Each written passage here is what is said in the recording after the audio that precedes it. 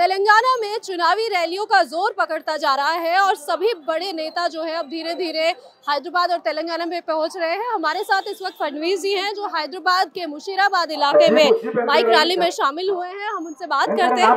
फडणवीस जी आपसे जानना चाहेंगे कितना अलग है महाराष्ट्र की राजनीति से तेलंगाना की देखिए अलग तो हर स्टेट होता है लेकिन भारत में सब जगह कोई ना कोई समानताएँ है। और तेलंगाना तो हमसे लगा हुआ है। मैं खुद विदर्भ से आता हूँ। तो हमारे गढ़चिरौली चंद्रपुर से लगा हुआ तेलंगाना का क्षेत्र है। तो हमको ये बहुत अलग नहीं लगता।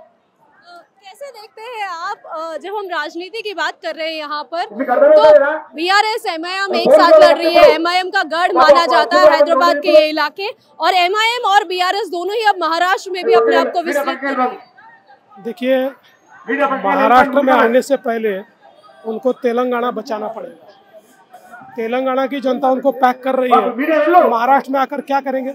और महाराष्ट्र तो लोकतांत्रिक राज्य है। जिसको आना है उसका स्वागत है। आइए पराजित होइए और वापस जाइए।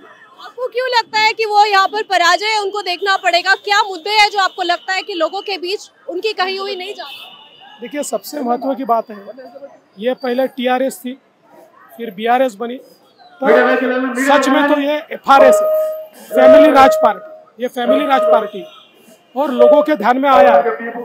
जिस प्रकार का भ्रष्टाचार इन्होंने किया है लोग उसको समझ रहे हैं इसलिए लोग उनको चुनकर नहीं देंगे। एमआईएम मुस्लिम वोटरों के ऊपर ज़्यादा अपने आप को बना रही है फोकस कर रही है। आपको क्या लगता है कि क्या उसका नुकसान बीजेपी को हो सकता है?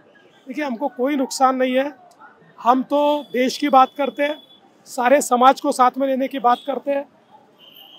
कोई भी पार्टी अगर केवल अपीजमेंट के भरोसे जीतना चाहती है तो हमारा उसको विरोध है।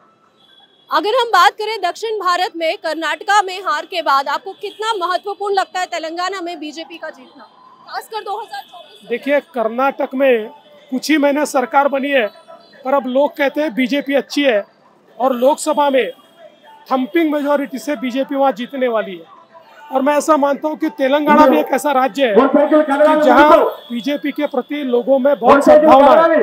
पिछली लोकसभा में भी चार सीटें हमने जीती है। प्रत्यक्ष मुख्यमंत्री जी की बेटी को भी हमने पराजित किया है। तो मैं मानता हूँ तेलंगाना बीजेपी के साथ चलने को तैयार है। कालेश्वरम प्रोजेक्ट की अगर हम बात करते हैं सबसे बड़ी बात उसी पर लेकर जो है वोट मांग रही है। सटा हुआ राज आपके पास भी केसीआर आए थे पानी के मुद्दे को लेकर? देखिए हमने मन बड़ा करके अपने पड़ोसी राज्य को पानी दिया। हमको लग रहा था हम किसानों के लिए पानी दे रहे हैं। अब ध्यान में आ रहा है कि वो सारा भ्रष्टाचार में गया। है जिस प्रकार से लाख करोड़ रुपए का भ्रष्टाचार, एक लाख करोड़ रुपए का भ्रष्टाचार उसमें तेलंगाना की सरकार ने किया है, अब उसका पर्दाफाश हो रहा है और ताश के पत्तों की तरह ये प्रोजेक्ट धीरे धीरे नीचे आ रहा। है एक आखिरी सवाल, महाराष्ट्र में जिस तरह की राजनीति का स्तर गिर रहा है, निजी टिप्पणियाँ की जा रही है, उसे आप कैसे देखते हैं? क्योंकि राउत जी तो ये कह रहे हैं कि मध्य प्रदेश के प्रदेश अध्यक्ष की कुछ वीडियोस तक उनके पास है, उनसे भी वो जो है सोशल मीडिया पे या फिर बाहर वो मीडिया के सामने रखना चाहते हैं। देखिए, संजय राउत इनके दिमाग पर परिणाम हुआ है। उनको ट्रीटमेंट की बहुत आवश्यकता है।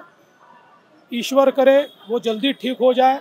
तो महाराष्ट्र की राजनीति का स्तर ऊपर होगा और कभी कभी अपने गिरेबान में झाँक कर वो देख ले तो उनको पता चलेगा सबसे काला मुँह किसका है।